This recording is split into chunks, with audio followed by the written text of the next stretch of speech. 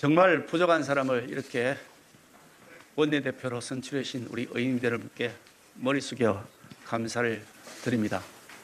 함께 멋- 멋진 레이스를 펼쳐 주셨던 우리 김태형 후보님, 유의동 후보님, 또 그리고 권성동 후보님께도 위로의 말씀과 함께 페어 플레이를 끝까지 잘해 주신 데서 감사 인사의 말씀도 올립니다. 사실 두렵고 떨리는 마음입니다.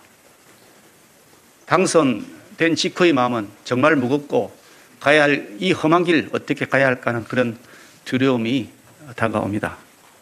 너무나 중요한 역사의 변곡점에서 우리가 다시 상승할 것이냐 아니면 침몰할 것이냐를 결정해야 되는 너무나 중요한 시점에 업무를 이 원내대표직을 맡게 되었기 때문입니다. 그러나 저는 확신합니다. 그리고 자신합니다.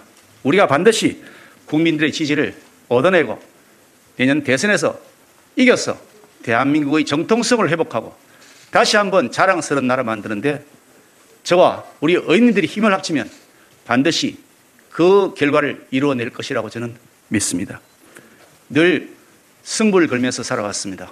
그리고 싸우면 이길 것입니다. 이기는 그 방법은 국민 속으로 들어가는 것이고 우리 의원님들과 하나가 되는 소통과 공감이라고 저는 생각합니다.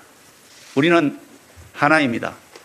경쟁하면서 때로는 서로 간에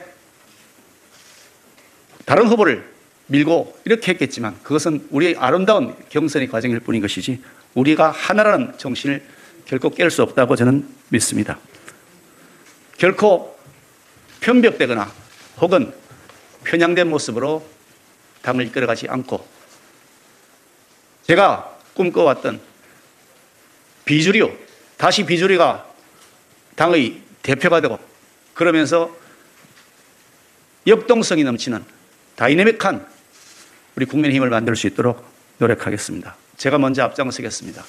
헌신하고 목숨 걸고 앞장서서 싸울 것은 싸우고 지킬 것은 지키겠습니다. 그러면서 의원님 여러분들이 바로 우리 당의 주인으로 되도록 모시고 제가 할 수 있는 설번트로서 역할을 최선을 다해 나가도록 하겠습니다. 의원 여러분들의 성원과 질책, 때로는 많은 지도 편달을 부탁드립니다. 감사합니다.